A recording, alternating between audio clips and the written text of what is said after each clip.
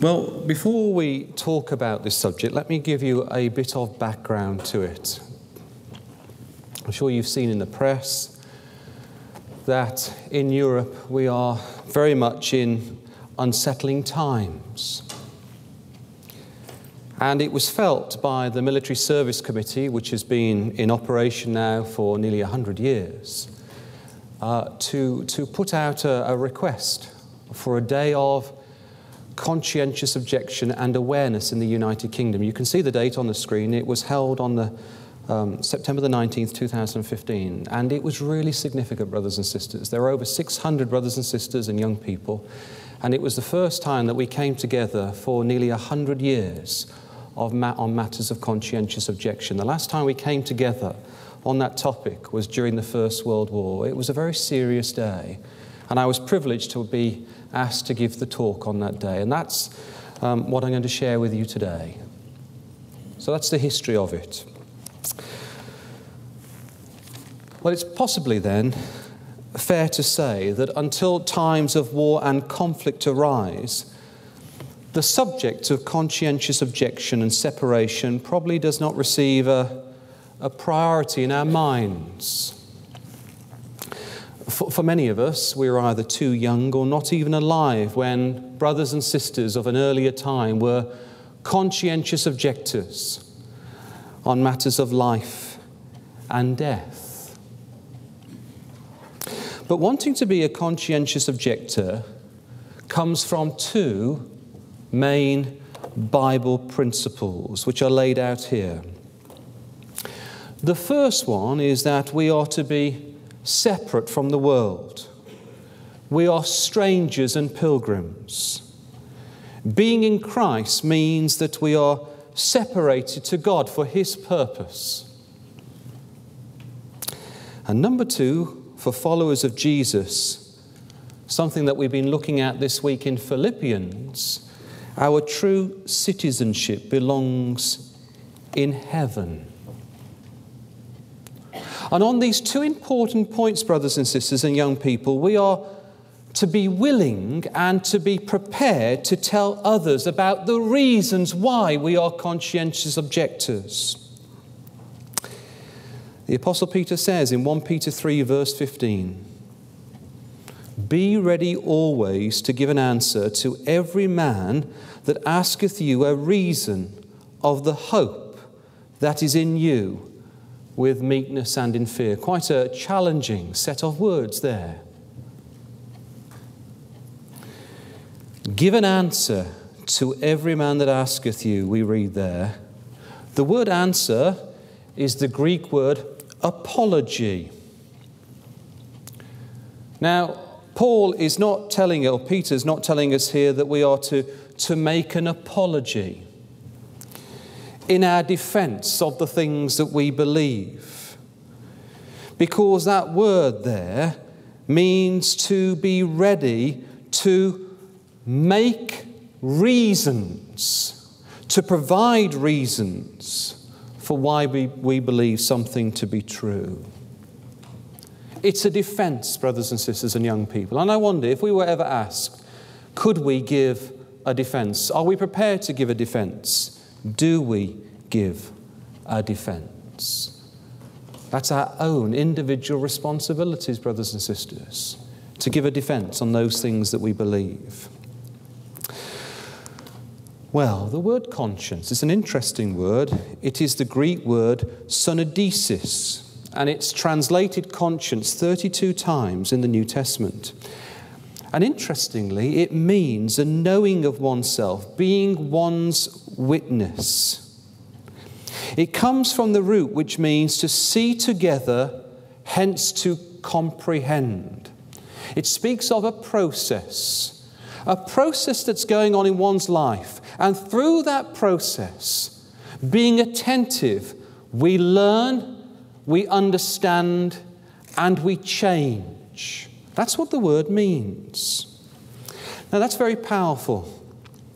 Because what we're being told here is that the will of God, the will of God, all these things come from God. The will of God, when it is absorbed through the meditation of the scriptures, it becomes our conscience. I'll say that again. The will of God that is expressed in God's word, by prayerfully reading God's scriptures, it becomes our conscience. And it becomes our conscience because without it, we are incapable, aren't we, of judging right from wrong. We do not have God's divine viewpoint, do we? So we require God's thoughts to be first implanted in our minds. So the knowledge of God's will is the source of the Christadelphian conscience. That's the responsibility that we have in reading God's Word. How can we develop a conscience without it? But a conscience is more than obeying the Bible out of ritual when we look at the context of the word, we see that it's more about a mind, it's a character, it's a way of life, it is centered upon God's word. And if our conscience is based upon our understanding of God's word, then our conscience, as it were, is a living organism that's always in a state of flux. And if we exercise it, then it becomes stronger. And if we fail to use it, it depletes and dies. Can you see that, brothers and sisters? The, the conscience, based upon our reading of God's Word, is a living organism within us, as it were. And without reading and meditating and prayerfully reflecting, then it dies. In many ways, then, our conscience is the barometer of our faith. Our life as disciples of Christ is continually adjusted by our conscience. The decisions of life become decisions of conscience. Now, remember what we said that there are two main Bible principles for being a conscientious objector. And I want to look at these in turn. The first one is being a stranger and a pilgrim, and the other one being a heavenly citizen. So let's just look at these in turn. Being a stranger and pilgrim. Now, you, you may feel that that is a frequently used phrase in the New Testament. Well, it's not actually. We, we only come across that phrase twice. It's found in Hebrews 11, verse 13, and 1 Peter 2, verse 11, as we have on the screen.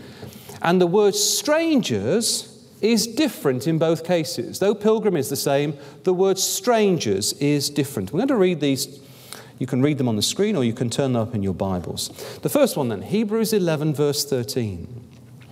These all died in faith, not having received the promises, but having seen them afar off, were persuaded of them and embraced them and confessed that they were strangers and pilgrims on the earth.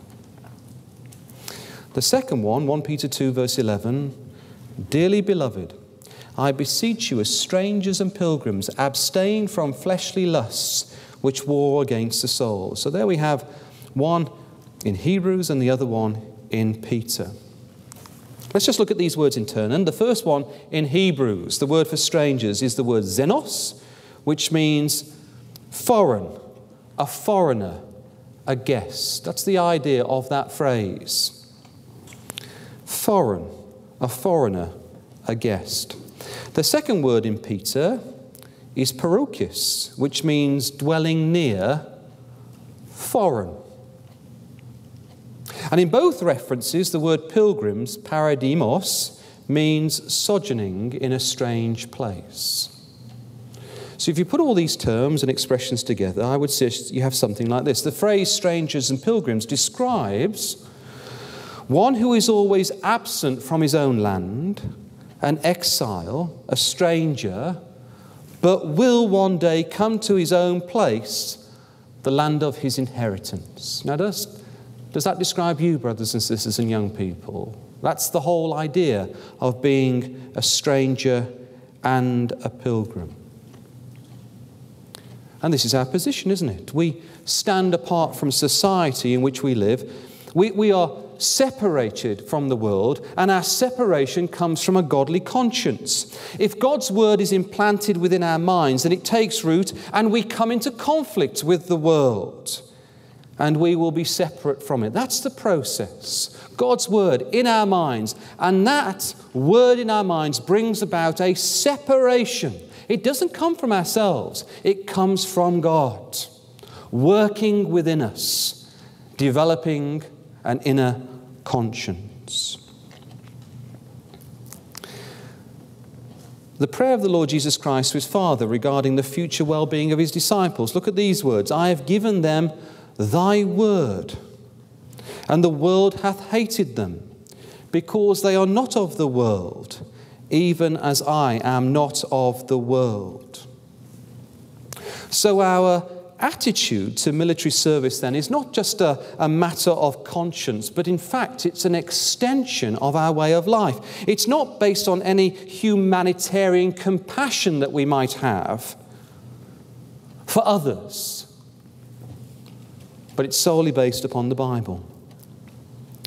And our conscientious objection is not just about military service, but it relates to anything that conflicts with the law of Christ.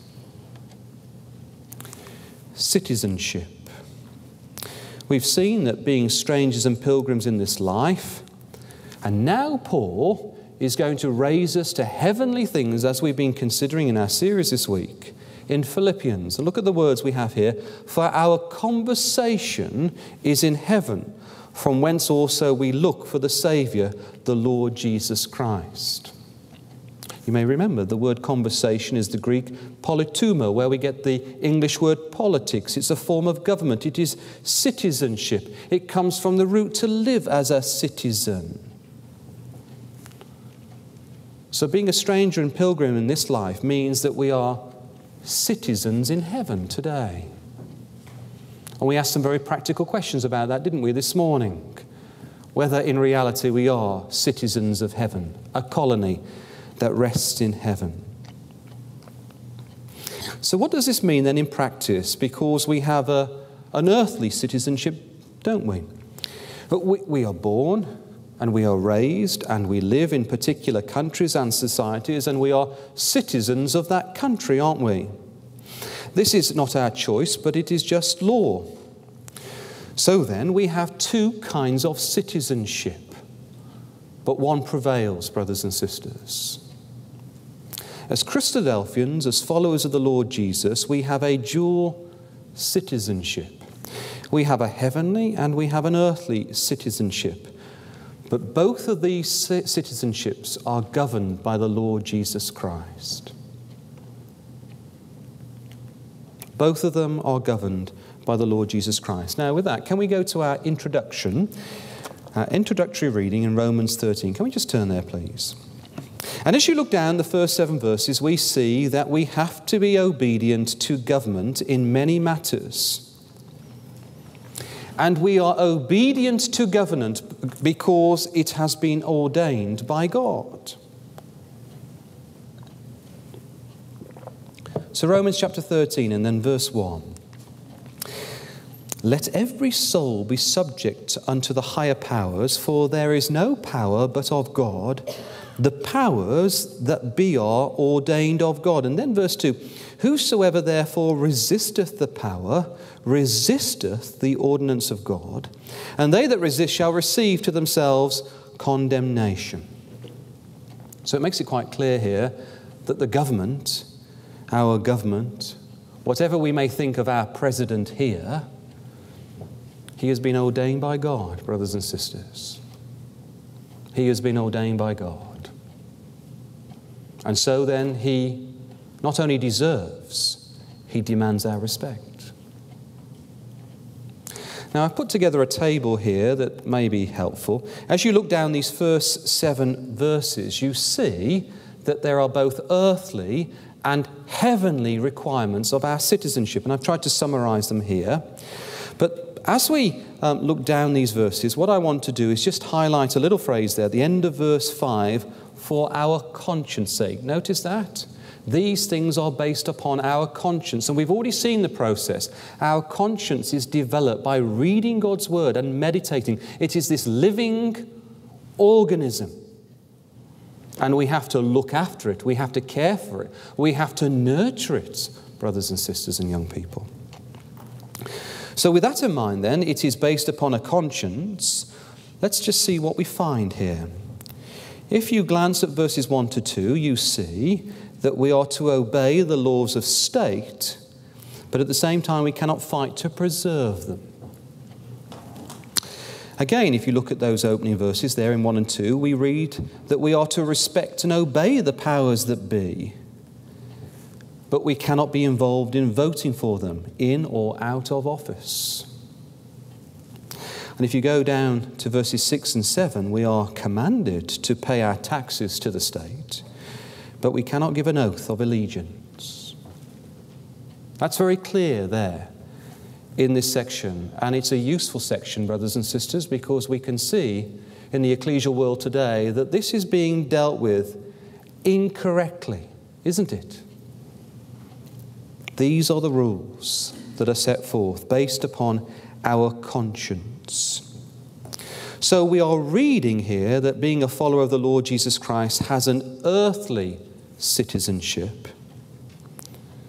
But that earthly citizenship is not regulated by the state, but is regulated by the Lord Jesus Christ. That's what we need to remember, brothers and sisters and young people. And we, as disciples, we meet all the obligations that the state places upon us, except those that contravene Christ's law, in which cases the demands of our heavenly citizenship takes precedence over those of our earthly citizenship. It's quite simple, really, if we are faithful to these verses. Peter says here in Acts chapter 5, verse 29, we ought to obey God rather than men. And, and literally in the Greek, it means we must obey God rather than man. We must obey God rather than man. It's not open to question, it is clear. So, in summary, then, our conscience. Our conscience lies within us, and it both frames and measures our actions. It's based upon a knowledge of God's word, and unless it's used regularly, it will become ineffective. Now, what I want to do is to show you what I feel anyway Based upon this conscience, there are three specific demands made upon our conscience. I want to share these with you now. And we need to observe these in our lives. These are three rules, I believe. So let's look at these now. Conscience demands that we are always subject unto the higher powers. We are always subject to Him. Almighty God in heaven. But at the same time, we render therefore unto Caesar the things which are Caesar's, and unto God the things that are God's. But the context there, we are subject to the higher power. Conscience demands that we are faithful stewards in the truth, serving one another with a fervent heart and missing no opportunity of telling others about our beliefs. That is citizenship, brothers and sisters. And number three, conscience demands that we are faithful stewards in the world, that we are diligent in business, that we serve heartily our masters, and we look after those that we may find in our responsibility that serve us. Humbling, isn't it, brothers and sisters? It goes way beyond conscientious objection and military service. This extends and percolates into every aspect of our lives. I want to bring this to life now. I want to show you an active conscience working. And I can't find a finer example than Daniel. Come with me, please, to the book of Daniel. And we're going to see these three rules very much alive in, the, in this man's life. So when we come to Daniel chapter 1, we're taking our minds back two and a half thousand years, the ancient city of Babylon under King Nebuchadnezzar, and it was magnificent, wasn't it? For anyone, it would become or could become intoxicating with its beautiful architecture, its towering structures, its impressive learning, its sophisticated lifestyle. It was so advanced.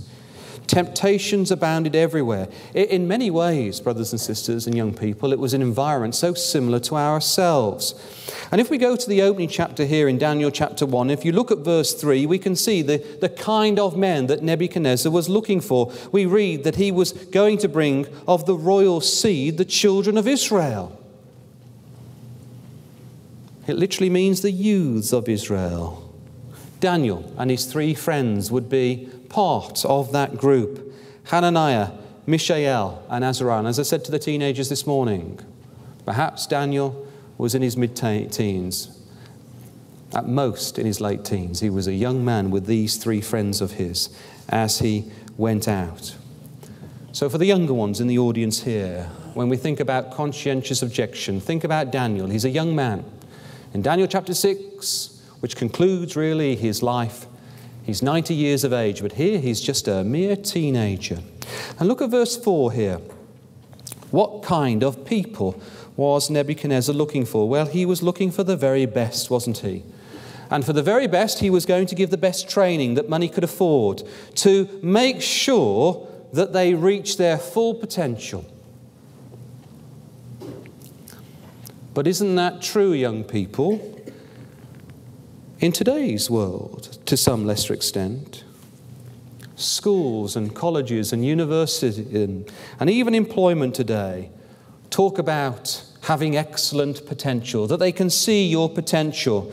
They want you to work harder and harder. They're going to give you better grades and qualifications. They want you to see the world but they want you to give, to commit, to put more hours in, to build up your experience. They want you to broaden your horizons, to widen your perspectives, to get more exposure to the world. And they're encouraging you, and it's endless in order that you can reach your full potential. It's no different back home in England. And there's nothing wrong going to university. You've heard that I went to university or having a good job. That's not the problem. But, young people, we need to be mindful of the pressures that will come our way and the temptations if we choose to leave home and go to university. This was the situation of Daniel and his three friends. There, there is nothing wrong with having a good job or being successful in this life. But we need to appreciate that going up the greasy ladder of success will bring stresses and strains, both in ecclesial life and in your married life. And you need to be prepared for those things. And you need to be evaluating your situation at all times. Remembering that your authority is God. Whether young or old, Every one of us in this room faces our own Nebuchadnezzar every single day who tells us that one day we can reach our full potential if we commit our lives to Him. Isn't that true? It's no different, brothers and sisters. These wonderful rules that are laid out by Paul here in Romans were being lived out by Daniel so many years earlier. And like Daniel, we too are surrounded by godless people. Our teachers, our lecturers, our bosses, our clients. What do they want from us? They all want our talents and our abilities, don't they? In order to reach our full potential, they want our abilities and our talents. And, brothers and sisters and young people, Anything that we tr- intrinsically have ourselves, they're not our own, are they? They're, they're not our own. They're God's gifts, aren't they? And so we have to ask ourselves a question every single day How are we using God's gifts that God has graciously bestowed upon us for a short period of time? How are we using them for Him? You could find yourself very gifted, and you can serve this world so well. And if you're not careful, you could lose the kingdom. These were all the challenges that Daniel had with these wonderful gifts and talents that he had. Let's go down to verse 5. And the king appointed them a daily provision of the king's meat and of the wine which he drank. So nourished them three years, and the end thereof they might stand before the king. He was going to provide this generous scholarship program, all funded by the king himself. Each day, these four young men were going to eat of this daily provision of the king's meat and wine there in verse 5. And can you imagine for just a, a fleeting moment what it would be like to literally eat the king's meat and drink his wine? In fact, I think the New King James Version um, renders that phrase there of the king's meat, the king's delicacy. It conveys a, a lovely picture, doesn't it, of the kind of food that was sitting on that plate that Daniel and his three friends were going to refuse. Well, I believe when Daniel, under inspiration, wrote these words, he knew what the real daily provision was. This was going to be a daily provision. This was the temptation. A daily provision. If you've got a margin, the Revised Version certainly says a daily portion. And as you can see on the screen, if you uh, just scroll your eyes down this chapter, you can see that that daily provision becomes the portion of the king's meat. I'd like you just to notice that.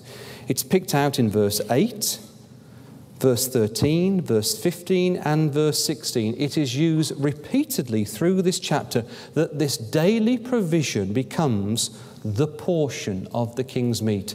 It is a daily portion. I'd like us to notice that, brothers and sisters, because this is loaded with meaning. The king was going to offer this daily portion, his meat and wine. Yet for Daniel and his three friends, soon as they heard that this was going to be the daily portion, I don't think there was any temptation. This was never going to be the daily provision, the daily portion for these four young men. Can you have a look at Exodus, please? Exodus chapter 16. And we're just bringing, bringing out certain principles. These are principles, brothers and sisters. This is what this talk is all about Bible principles. Exodus chapter 16, then. And you know the history of this. This is the children of Israel as they made their way out of Egypt.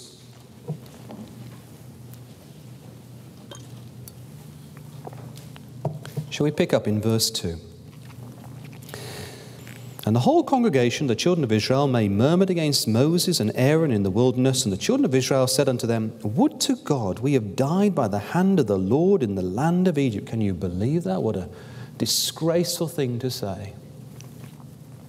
When we sat by the flesh pots, and when we did eat bread to the full, for ye have brought us forth into this wilderness to kill this whole assembly with hunger. Then said the Lord unto Moses, Behold, I will rain bread from heaven for you, and the people shall go out and gather a certain rate every day, that I may prove them whether they will walk in my law or no. So God here is providing them with manna, and we see there that it was going to be provided every day. And there's a phrase here, it's a very telling phrase I'd like you to note. A certain rate. Can you look at that, please? A certain rate. Halfway down verse 4 the Revised Version, and you should see something very similar in your margin, it has a day's portion.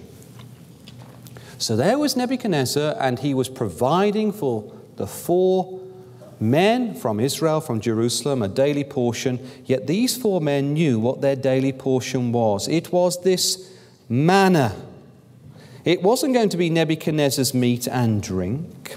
But he goes on a little more because if you look um, more carefully at verse 4, you see that phrase, gather a certain rate every day. And that word certain rate is one Hebrew word, debar.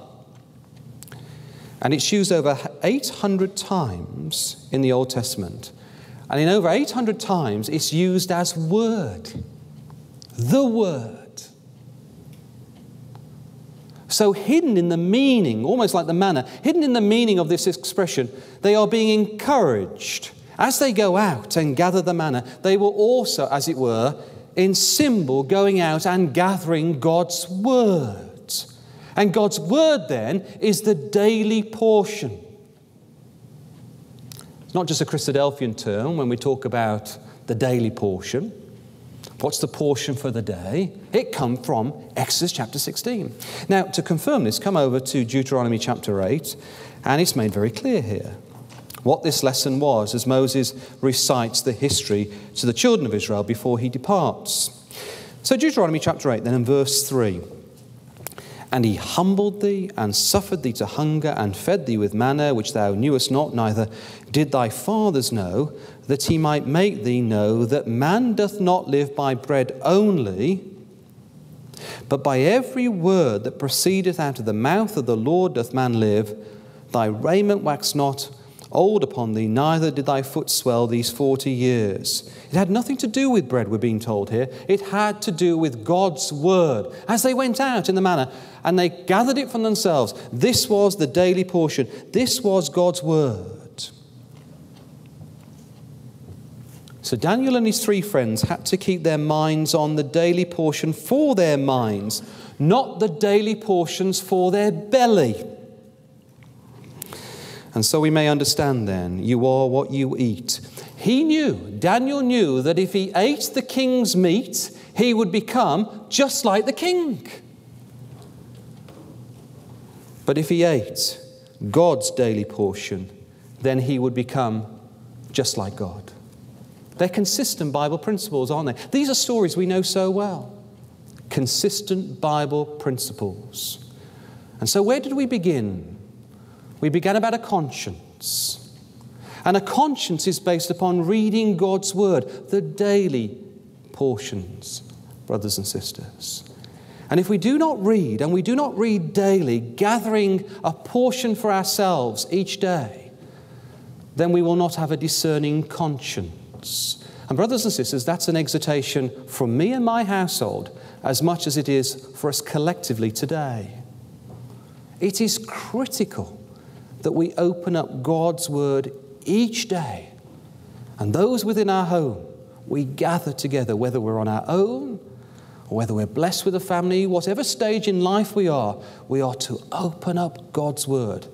Without opening up God's Word and reading it and reflecting upon it, we lose our conscience, brothers and sisters. Now, the final step of Nebuchadnezzar's brilliant devised brainwashing program was to remove their names. And we know this. We don't need to dwell upon this, do we? He wanted to re- uh, erase their identities. Let's just come back to Daniel chapter 1. Just have a look at the chapter, really. He wanted to erase their identities. This was all about a re education, wasn't it? We can see there.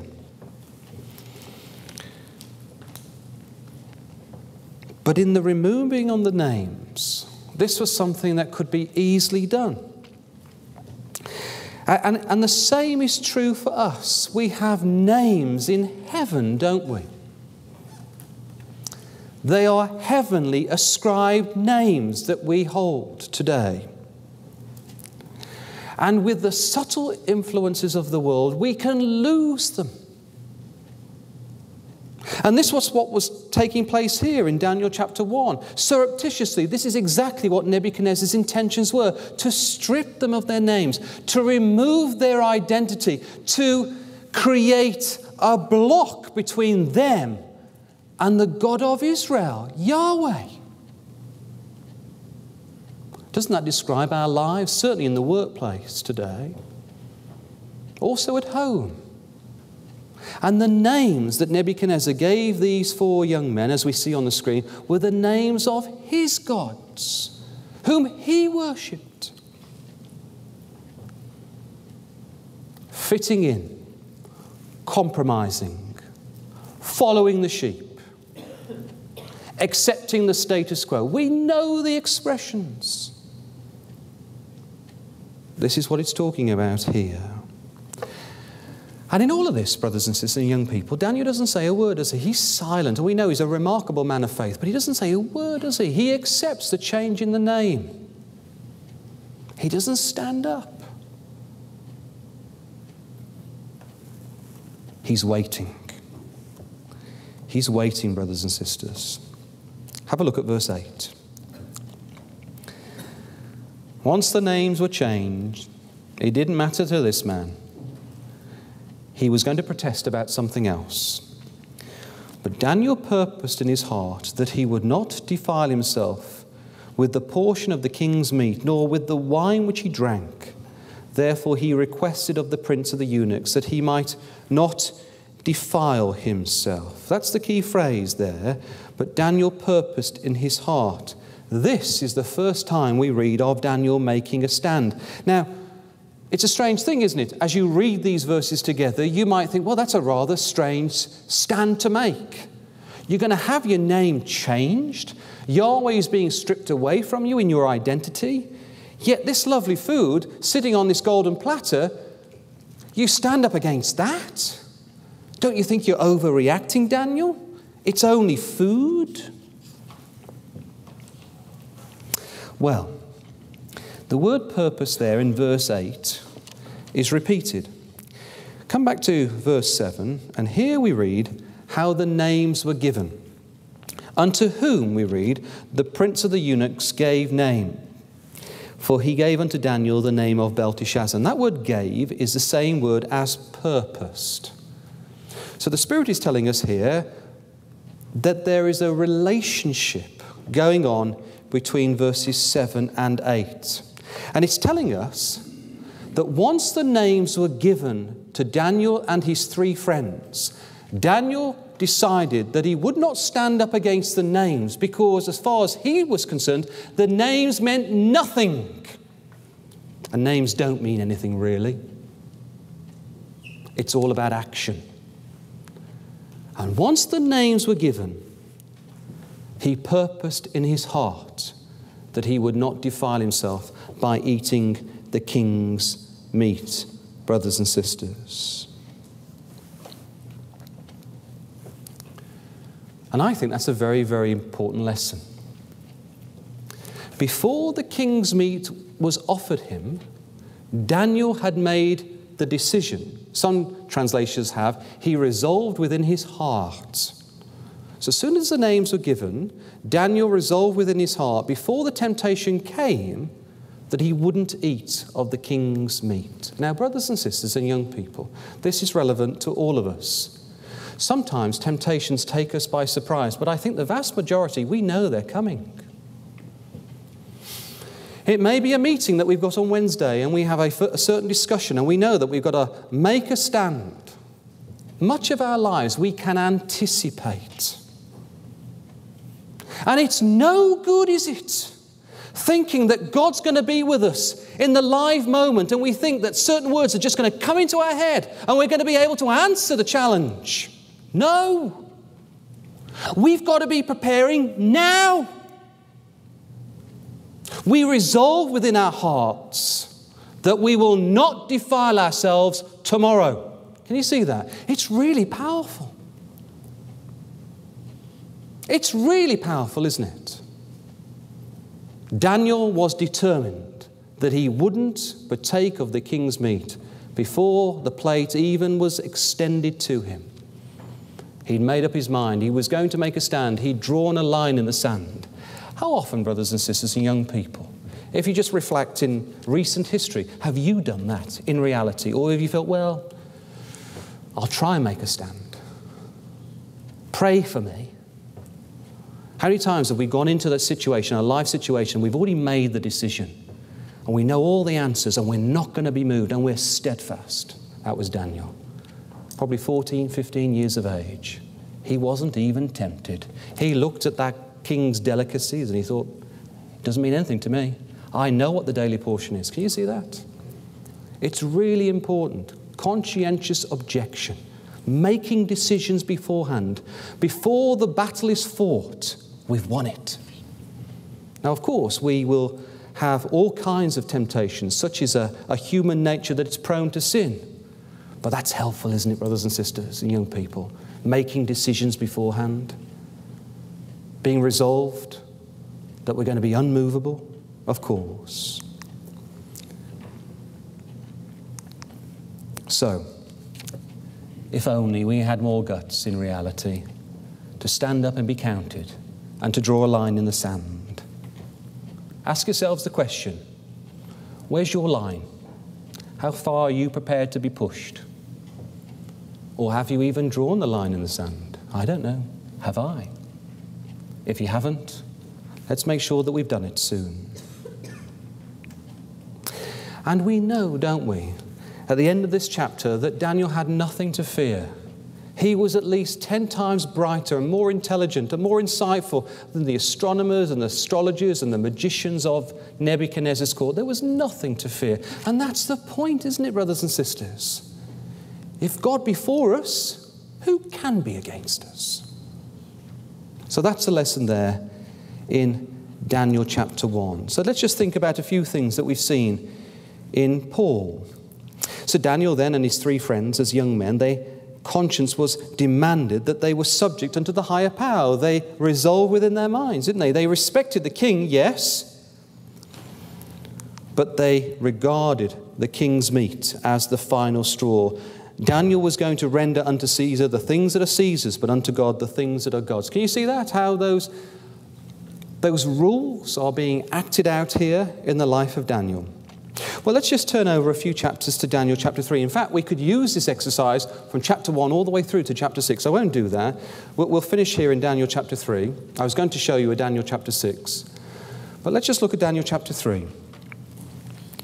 So, turning to Daniel chapter 3, maybe the king had seen his own face on the image of this dream, and he is going to make this head of gold. He was, of this head of gold, he was going to make an image of gold. He was going to live forever. And we know what this chapter is all about. You've got to fall down and worship this image that I have built in my image and in my honor. And in this creation, Nebuchadnezzar believed that he owned his own personal destiny. Well, as we look down chapter 3, we can see here that that phrase fall down is repeated in verse 5, 10, and 15. And it's not bow down, is it? Sometimes we talk about bowing down to the image, don't we? It's more than that, isn't it? It is to fall down. It's the idea here of rendering yourself absolutely powerless. You fall into a heap. You have given your heart and your soul and your mind and your strength. You've given everything to this image, and all that's left is a heap. It's not a, a curtsy or a bow to Queen, Queen Elizabeth. You are in a heap. You've given everything. That's what Nebuchadnezzar wanted. You've fallen down when he plays the music. So, where do you draw the line? Daniel's three friends now were under the spotlight and they had very comfortable lives. Should they throw everything away just for a bow? On the one side, they had their lives, of course, but they also had their jobs, their careers, their promotions, their perks, their houses, the comfort and ease, everything that Babylon gave them. And on the other side, they had nothing but God. What do you do when you have everything on one side and just God on the other? What decision do you make? Now, let's try to imagine the immense crowd, the excitement and the air of expectancy, and the orchestra plays, and the multitude drops to the ground, and there are just three people left standing. And Nebuchadnezzar's incensed, isn't he? And he gives them now another opportunity to fall down, but they decline his offer. Can we have a look at verses 16 to 18 here? We, we know this account well. Shadrach, Meshach, and Abednego answered and said unto the king, O Nebuchadnezzar, we are not careful to answer thee in this matter. If it be so, our God, whom we serve, is able to deliver us from the burning fiery furnace, and he will deliver us out of thine hand, O king. But but if not, be it known unto thee, O king, that we will not serve thy gods, nor worship the golden image which thou hast set up. What a lovely phrase that is. God is able to deliver us. We must remember that, brothers and sisters. God is able to deliver us. But we read there in verse 18. If it wasn't the will of God, then their minds would still not change. They would not bow down. And, brothers and sisters, here, isn't life just like that? God can deliver us from every situation. Often He does, but He may choose not to. We don't know what's in store for us. We don't know what depths of our characters will be tested, do we?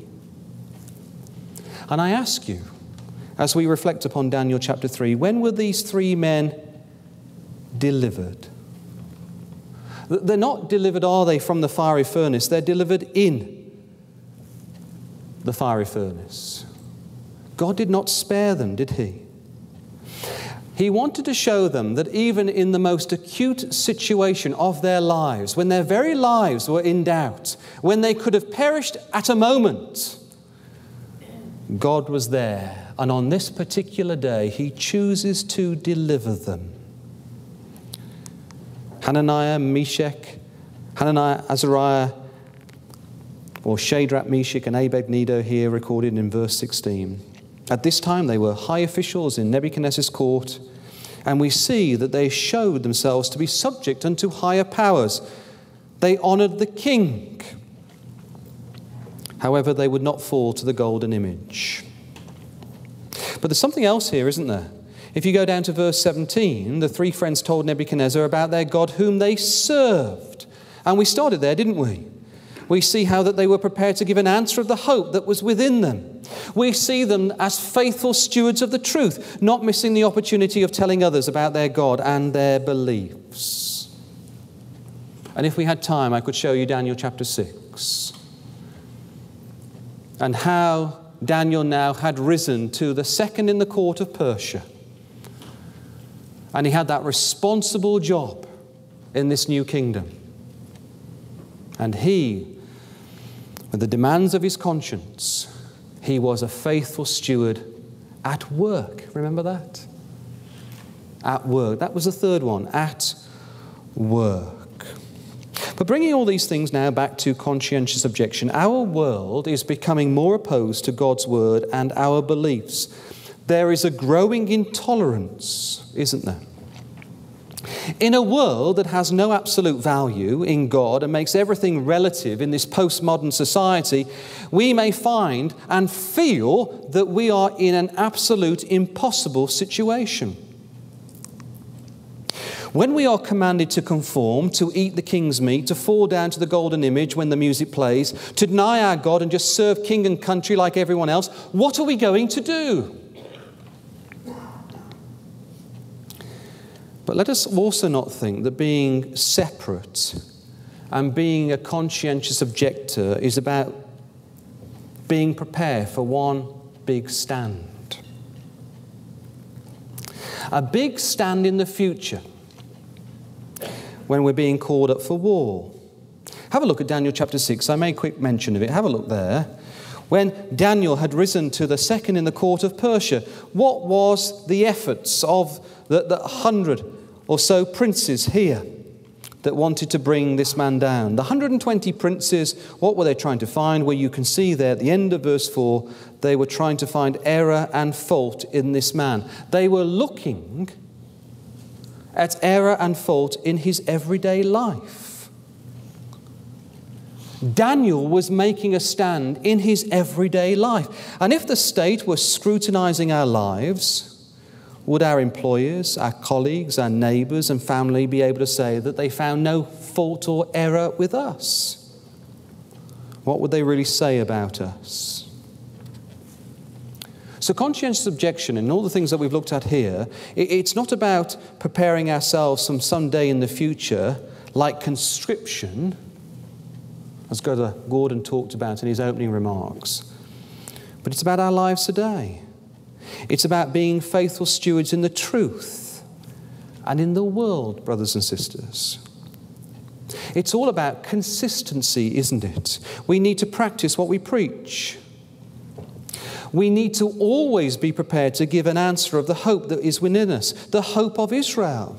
We need to be standing up for God every day of our lives. The opposition to the Bible in these days is like a roaring lion, isn't it? We are all, as it were, Daniel in the lion's den, Every day we can feel the lion's hot breath upon us, the deafening roar for us to shut up, to conform, to imitate, to follow, to obey, to adopt. The battle we face and we continue to face is a huge one. But just as an angel stood with Daniel in the fire, and just, or Daniel's three friends in the fire, and just as an angel spent an evening with Daniel down in the pit in Daniel chapter 6, so we are not alone, brothers and sisters. That's the message here in the book of Daniel. And so then I leave with you just this phrase in all that we've seen this afternoon. Let us continue standing up for God. Thank you.